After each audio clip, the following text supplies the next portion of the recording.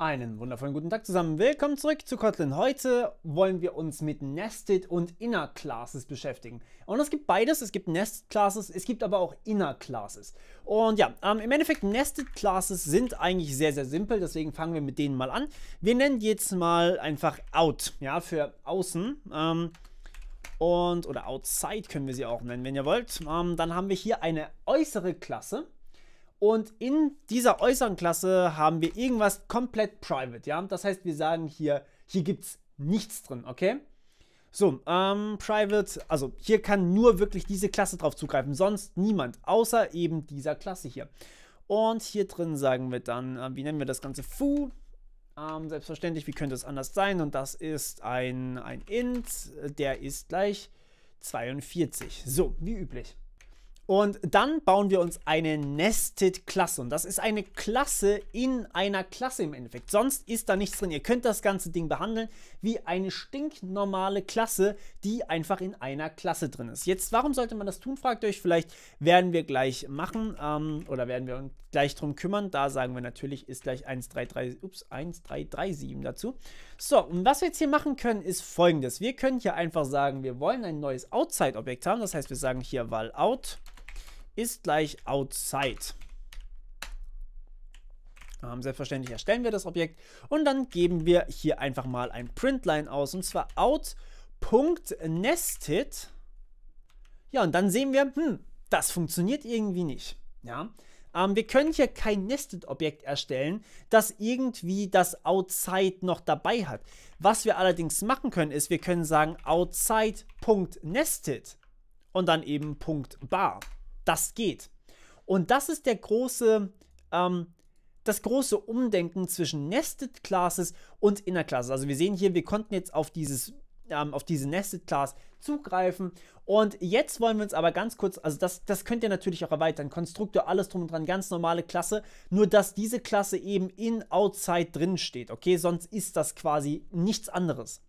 So, jetzt wollen wir uns aber den Unterschied angucken zu Inner Classes. Und dann wird, glaube ich, auch relativ schnell klar, was das eigentlich soll. Ähm, inner. So, und für innere Klassen müsst ihr hier dieses Schlüsselwort inner vorne dranhängen, klein geschrieben. Und meine Klasse hier ist äh, inner, ist groß geschrieben. Und dann sagen wir jetzt hier inner und äh, geben hier ähm, eine Fun Bar ist gleich. Und jetzt, Achtung, jetzt wird es nämlich interessant. Wir nehmen hier Foo. So. Und das geht hier nämlich auch nicht. Hier können wir nicht auf Foo zugreifen. Wir können hier nicht sagen einfach, hey, ich möchte hier Foo zurückgeben. Das wird mir rot markiert. Deswegen habe ich es nicht gemacht. Sondern hier kann man eben nur den Wert 1337 machen. So. Und wenn wir jetzt hier mit dem Printline ähm, auf, dieses, auf diese innere Klasse zugreifen wollen, dann müssen wir das wie folgt machen. Wir müssen auf out.inner zugreifen und dann dort .bar aufrufen. So, und wenn wir jetzt das ausführen, dann wird der Unterschied, oder dann kann ich euch den Unterschied sehr, sehr leicht erklären. Hier sehen wir einmal 42, das ist offensichtlich das Fu hier, das ist das Bar aus Inner. Während das aus Nested, das gibt natürlich 1337 zurück. Der große Unterschied besteht allerdings hierin Outside und hier Out. Der Unterschied ist, Outside bezeichnet die Klasse. Das ist der Name der Klasse. Während Out ist ein, eine Instanz dieser Klasse. Okay? Und das ist der große Unterschied. Wir brauchen für inner eine Instanz von der äußeren Klasse, um eben dieses inner zu, ähm, zu koppeln mit, diesem, mit dieser Instanz. Während Nested, Nested-Klassen sind einfach nur Klassen innerhalb von Klassen. Die sind völlig unabhängig von dem äußeren Objekt. Aber, und das ist ganz interessant, ähm, ich mache jetzt hier mal eine Sache und dann wird das, glaube ich, relativ schnell klar, wann man was benutzen muss. Wenn ich jetzt hier nämlich ein a vom Typ int habe und das Ding hier weise ich auf a zu, ja, und dann weisen wir hier unserem ersten a 42 zu und unserem zweiten a, äh, beziehungsweise unserem zweiten outside, weisen wir ähm, 43 zu, ja. So, und jetzt benutzen wir mal hier bar von Out und von Out 2. Und das ist der große Unterschied. Einmal haben wir hier bei bar, bei out 1 42, weil natürlich das a hier 42 ist und wir im Endeffekt nur das a ausgeben. Bei 43, das ist out 2, da haben wir dann offensichtlich ein anderes a und somit ändert sich auch das foo und somit ändert sich auch die komplette innere Klasse. Die Nested Class ist unabhängig von der Instanz der äußeren Klasse. Die Nested Class braucht keine Instanz, um irgendwie was zu tun, während die innere Klasse, diese hier, die ist immer abhängig von der Instanz der äußeren Klasse. So, jetzt wann benutze ich was? Das ist jetzt wahrscheinlich ein kleiner Mindfuck für euch gewesen, aber das ist, da müsst ihr leider durch, äh, tut mir leid. Ähm, die Nested-Klassen benutze ich einfach nur, wenn ich sozusagen ähm, sinngemäß Dinge schachteln möchte. Das heißt, wenn ich jetzt zum Beispiel etwas habe, also zum Beispiel habe ich hier, ähm, denken wir hier zum Beispiel mal an euren PC, ja. Nehmen wir einfach mal an, ihr habt eine Klasse PC und die hat eine Klasse für Grafikkarte, die hat eine Klasse für Arbeitsspeicher, eine Klasse für ähm, CPU und so weiter und so fort. Diese einzelnen Dinger, ja, die sind natürlich völlig unabhängig. Das sind quasi einfach nur PC-Komponenten, wenn ihr so wollt. Und die sind unabhängig von dem Äußeren. Zumindest jetzt erstmal, wenn wir es einfach nur so quasi als PC-Komponenten sehen, ja.